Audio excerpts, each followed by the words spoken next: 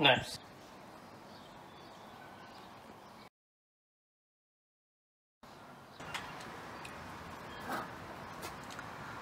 That should be good enough, right?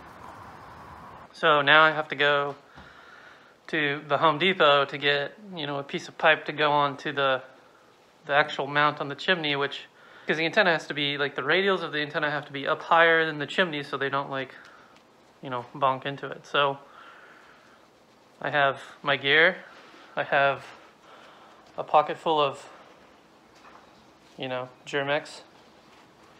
I think I'm ready to go. Like, this is just too weird. I mean, it's it looks like a regular Sunday at Home Depot, but I think I might be the only one wearing a mask. I was in here just yesterday. Actually, that guy has a mask on his forehead. I bet that's effective. Um, I was in here yesterday and it was really busy and a lot more people wearing masks. Don't forget to bring your sizing tool.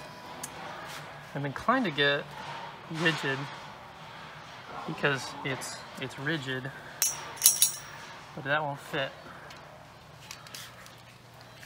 That will fit. That won't fit. So it's one and a quarter.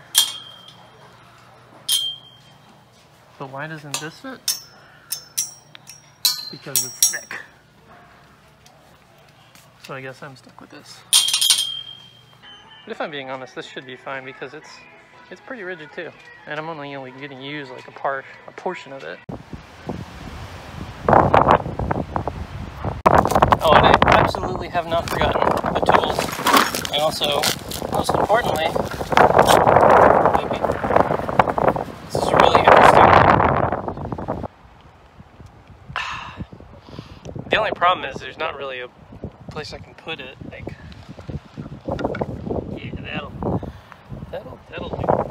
It'll just blow the hell off. I gotta drink the whole thing. I'm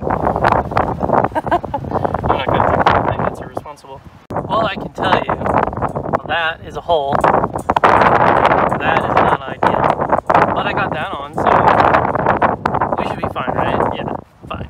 I'm calling this mission failure because the tighter I tight these things, the more squeezed in all the bricks are getting because this this chimney is not, it needs tuck pointing. It needs tuck pointing really bad. So the tighter I make those, it just squeezes the whole thing and at some point it's all going to collapse inwards, which is kind of dumb.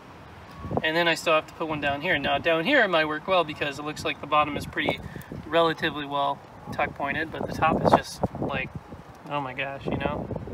So, to be revisited another day.